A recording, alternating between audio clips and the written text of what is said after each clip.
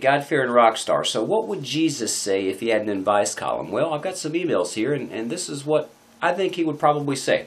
Okay, dear Jesus, there's a really nice couple from church we normally like to invite over. However, they recently adopted a three-year-old, and the toddler is out of control. She climbs all over them while we're trying to hang out. We love the couple, but because of the kid, we're growing tired of having them over. I know it's probably selfish, but is it okay for us to stop inviting them into our house? Well, I think you should probably get over yourself. In fact, I would buy some toys for the kid. You know, if, if you really like this couple, you've got to understand how kids are. So get over yourself, get over your patience with dealing with this kid, and uh, find some means of entertaining this kid. Maybe have a kid of your own.